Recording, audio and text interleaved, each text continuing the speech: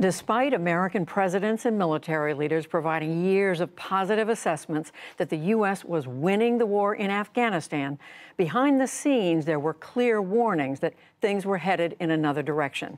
Those harbingers, stories of failure, corruption, and lack of a clear strategy, are the focus of Washington Post reporter Craig Whitlock's new book, The Afghanistan Papers A Secret History of the War. And Craig, joins us now. Thank you so much for being here. Congratulations. This is a definitive book. Craig Whitlock, you interviewed over a thousand people and you had access to documents that your newspaper, the Washington Post, had to sue to get. Um, and they tell a, a very different story in many cases from what the public's been told over the last 20 years, don't they?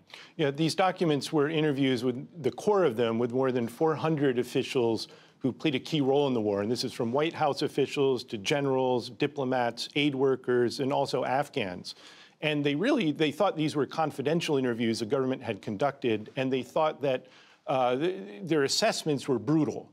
They said that the U.S. government didn't know what it was doing in Afghanistan, it didn't have a strategy, uh, and it misled the American people about how the war was going for 20 years. So it was a complete opposite of the message that was being delivered in public year after year that the U.S. was making progress, that victory was around the corner. And this goes back to the very beginning. I mean, President Bush uh, goes into, the U.S. goes into Afghanistan initially to get Osama bin Laden the, after the 9 11 attacks, but it very quickly changes to nation building. And you have a lot of behind the scenes information from then on about how what was going on, what was being assessed, was different from what people were told. Well, and the, one of the earliest examples of this is President Bush gave a speech in April of 2002 to the Virginia Military Institute. And that, that time, the Taliban had been defeated, Al Qaeda was on the run. Uh, but Bush was addressing concerns already that Afghanistan could turn into a quagmire uh, like Vietnam or like what had happened to the Soviets in Afghanistan or the British in the 19th century. And he was dismissing these concerns, saying, don't worry, we won't get bogged down. This isn't going to happen to us.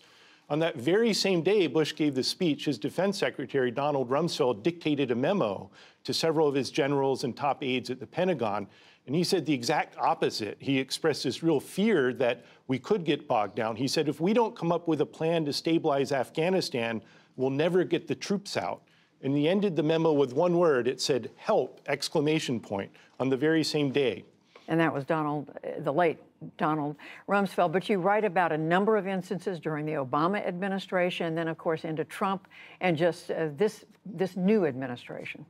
That's right. I mean, this happened with all the presidents. Uh, people may recall back in 2014, President Obama uh, said that the war was coming to a conclusion. There was actually a ceremony in Kabul at NATO headquarters in which the U.S. officials said that the, the combat mission for U.S. troops was over.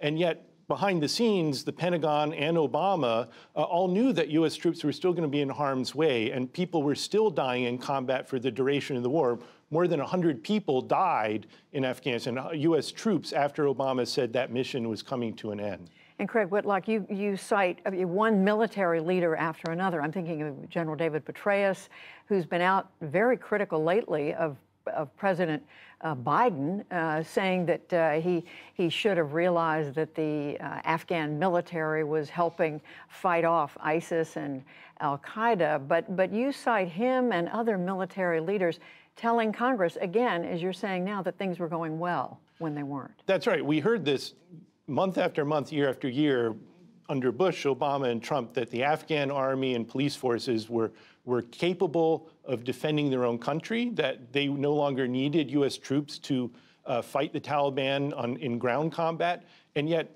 in these interviews in the Afghanistan papers, U.S. military trainers and other officials were sending up highly critical reports of the Afghan forces. They said they couldn't shoot straight, they were illiterate, their leaders were corrupt, and they expressed real doubt that they could stand up in a fight to the Taliban. So the Pentagon has known this for many years, And yet, again, as you said, in public, they kept telling the American people that uh, this, everything was going according to plan. And when, and when people try to understand what went wrong over, over all these years, I mean, you've got a chapter on corruption, you've got another chapter on the opium trade, the poppies that so many of the farmers were growing, and again on the military, that uh, the Afghan military, how hard it was with change in leadership after change, how hard it was to get the results that Americans were looking for.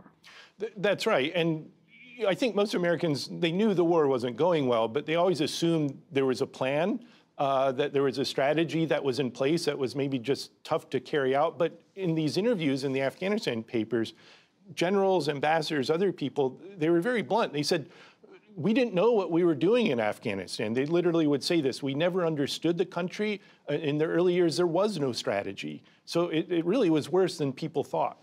And what about the role of Pakistan next door? It's been hard for many Americans to understand what that has been really all about, the connection between Pakistan and the Taliban. And this is something that U.S. government has never really figured out what to do. It took the Bush administration several years to really come to the realization that the government of Pakistan was, uh, on one hand, it was fighting al Qaeda, but it was lending support secretly uh, to the Taliban. It took them a while to sort of accept that Pakistan was playing a double game. Uh, during the Obama administration, I think they recognized that, but they were really dependent on Pakistan for supply routes to U.S. troops in Afghanistan. So they, they really couldn't get that tough on the Pakistanis. Uh, same under Trump. There was all this tough talk about getting the Pakistan to clamp down on the Taliban, but we never really had a, an effective strategy to deal with that.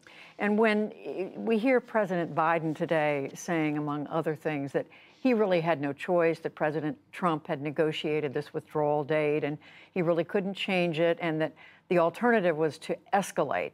Um, is that the whole story here?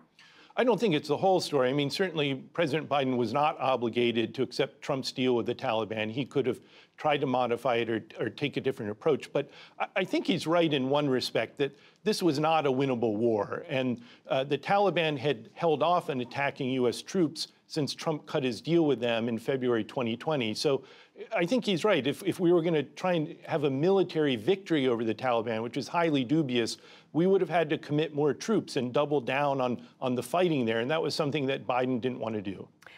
Can you come away with all this research and reporting you've done, Craig Whitlock, with lessons for future American leaders when we are tempted to go into another country, to fix a problem, to, to fight an enemy? Well, and that's right. And the parallels to Vietnam are, are very strong. Uh, but the irony here is we don't learn these lessons from history. At the beginning of the war, uh, Bush and Rumsfeld and others, again, they said, we, we learned our lesson from Vietnam. We're not going to do that again. Uh, so they knew about it, but it, it still happened. And I think sometimes we turn a blind eye to history and we forget. And we, uh, we had a lot of hubris in Afghanistan that we thought we could do something that, that clearly in retrospect failed. Were there particular truth tellers who stood out to you in, in all your, your research? I, I think in these interviews, which the government tried to keep a secret from the American people, there were truth tellers. People admitted that the strategy was a failure. And, after the fact? After, the, not too many. Uh, I, I, I, wish there had been more people that spoke up. There was one in particular, uh, General David McKiernan was the war commander uh, during the end of Bush's term and the beginning of Obama's, and he was the one general who said in public that the war wasn't going well, that things were going south. Uh, he was fired uh, at, in the Obama administration, and there was really no concrete reason given, but he was the first, first war commander relieved since Douglas MacArthur in Korea. In the documents we obtained, there were military officials who said McKiernan knew that he was getting in trouble for telling the truth about how things weren't going well, and that was the reason. And finally, based on what you've learned about the Taliban, what is your expectation about what's going to happen now in Afghanistan?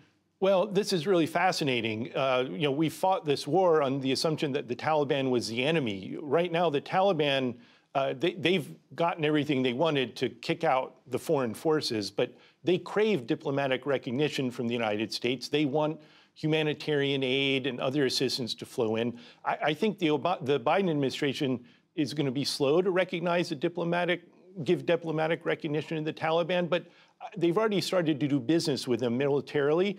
And you may recall that the CIA director, Bill Burns, made a visit to Kabul recently to meet with the Taliban leadership.